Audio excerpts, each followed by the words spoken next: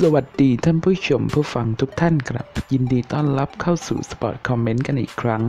คลิปนี้เราจะมาฟังคอมเมนต์ชาวมาเลเซียก่อนเกมพบกับทีมชาติไทยในฟุตบอลโลกรอบคัดเลือกโซนเอเชีย ซึ่งนัดต่อไปของทีมชาติไทยก็จะไปเยือนมาเลเซียในวันที่ 14 พฤศจิกายนนี้ ที่สนามบูกิตจาลิล เรามาฟังคอมเมนต์ชาวมาเลเซียกันว่าพวกเขาจะคุยอะไรกันบ้าง ไปฟังกันเลย คอมเมนต์แรก โชคดีมาเลเซียภารกิจที่ต้องชนะ คอมเมนต์ต่อมาเป็นคู่ต่อสู้ที่ยากลำบาก แค่เล่นให้ดีที่สุดนะ คอมเมนต์ต่อมาจงก้าวไปข้างหน้า และคอมเมนต์ต่อมาเล่นให้คุ้มกับค่าตั๋วนะ คอมเมนต์ต่อมาเป็นภารกิจที่ต้องได้รับ 3 แต้มคอมเมนต์ต่อมาจงตื่นขึ้นมาและแสดงความน่าเกรงขามของเสือ คอมเมนต์ต่อมาผิดหวังกับฟุตซอลไปแล้ว อย่าให้ผิดหวังกับฟุตบอลอีกล่ะ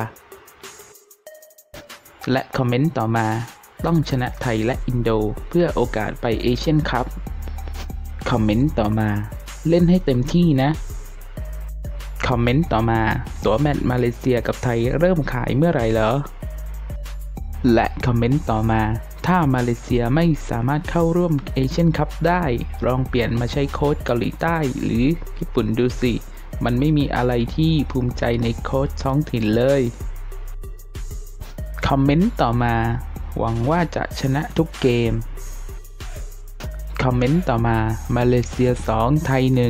1 คอมเมนต์ต่อมาจำเป็นที่ต้องชนะจริง ๆ พลาดไม่ได้แล้ว และคอมเมนต์ต่อมาโชคดีเหล่าฮีโร่ที่รักของพวกเรา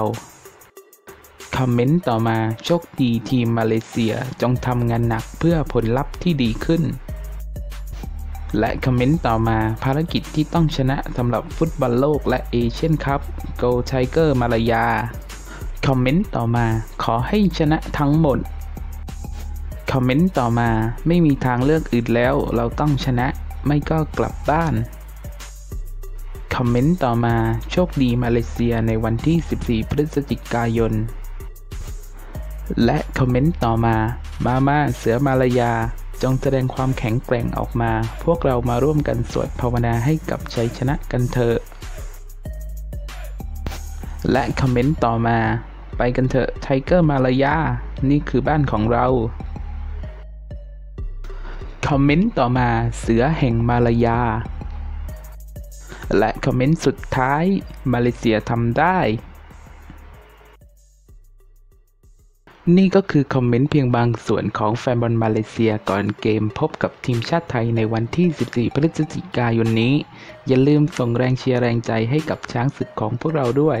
หวังว่าเราจะสร้างประวัติศาสตร์ใหม่ได้ที่ณบูกิตจาลิล ขอขอบคุณสำหรับไลค์ คอมเมนต์ และทุกคนที่กดติดตามช่องสปอร์ตคอมเมนต์ด้วยนะครับ สำหรับคลิปวิดีโอนี้ก็ขอตัวลาไปก่อน สวัสดีครับ